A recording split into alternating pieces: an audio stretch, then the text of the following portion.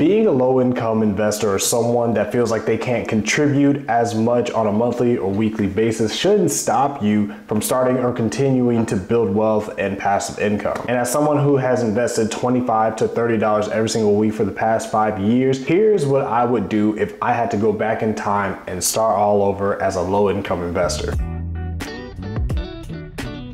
I started to get more serious into dividend investing when I was 26 years old. And around that time, I had just graduated from college and I was actually a few months away from starting my own YouTube channel. And at the time, only working part-time, I was only able to invest up to $25 a week into anything. And without really knowing what I was doing, what I was researching, anything like that, I mostly relied on what other YouTubers said, unfortunately without doing any extra research on my own. Now, ironically, I still own the majority of the positions I started off with, and those happen to all be dividend paying positions. It took me a few years to kind of adapt my own role of investing in what you know because the majority of long-term successful companies in the stock market make products that people use all the time and have places that people visit all the time. For example, most of you guys wake up every morning before you go to work and you either order a caramel latte on Starbucks and you walk inside with everybody else or you're waiting in a long drive through. Doesn't matter how long it is, you're still going there. That alone gives you an idea of how popular Starbucks is. And that's just one location out of the many locations in that city and then the state and then the country. So it'd be logical to anticipate that in the long term, investing into a company like them for dividends and overall growth would be beneficial. And that's really important for people that are low income investors because every dollar that you're able to invest is very sacred to you. So you wanna make sure that you put it into something that can build you some long-term profits. On top of that, investing what you have into what you know can make you more comfortable with that position when things get volatile and things get a little bit crazy in the stock market. No matter if you're investing a lot of money or a low amount of money, you have to really understand the fact that emotions do exist in the stock market. Simple example, when you realized that you wanted to start investing, I'm sure you were really excited to make your first investment. At the same time, you were probably really nervous to see how that position was going after the first hour, the first day, or the first week of putting that small amount of money or large amount of money into it. So even though emotions do exist in the stock market, you want to do your best to keep emotions from having you make very rash decisions like buy buying more of a certain position or completely selling out because you're afraid the stock price is just going to keep tanking. One very specific thing, especially when you're a low income investor that emotions could kick in, is buying into positions just because the share price is the same amount or lower than what you're investing. And that's just the philosophy and the psychology of feeling really good about buying whole shares of positions rather than fractional shares. And that makes sense. And personally, I can kind of agree to an extent but especially when you look at analytics,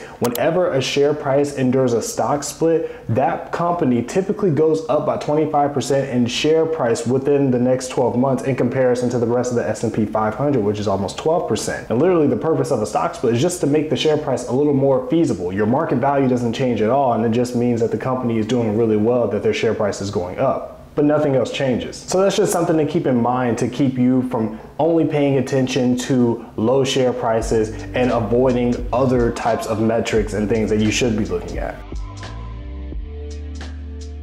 Understanding some of the analytics and the finances behind companies can really offset the lack of understanding you may have for that particular company at that time. For example, I'm not in real estate, but I can understand the benefit of a company like Realty Income having tenants based on essential based companies and how that can positively affect their free cash flow, therefore giving them the money to pay off dividends to their shareholders and constantly increasing them for almost 30 years. When it comes to the analytics of a position, you really want to make sure that you're investing the small amount that you have into a company that has a long-term history of increasing their share price, but also increasing their passive income and consistently paying that passive income. And again, for low income investors, investors, you can go back and connect this to the mindset of investing into a position just because it's the same amount or cheaper than what you're actually putting in every single week. Even an expensive position like Williams Sonoma, a position that may take you up to five weeks of investing $30 a week to get one full share can probably stretch your money out a lot further over a longer period of time than a lot of other companies are a lot cheaper.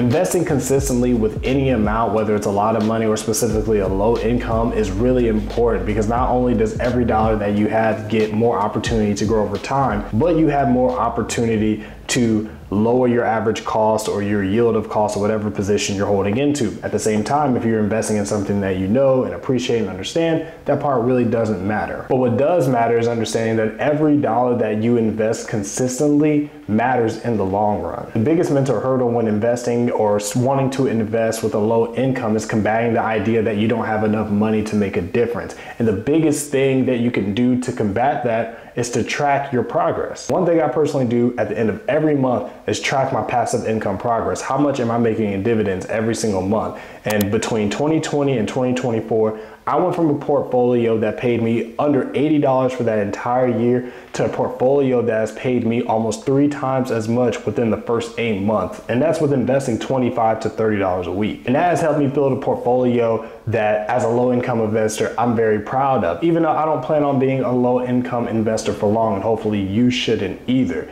But I do have a video that I'll put right here of how my portfolio did in August as far as dividends and overall growth, what stocks I bought, what stocks I sold, and what my plans are for this month. So hopefully you guys check out that video and I appreciate you guys watching this video. Until next time, as always, take care.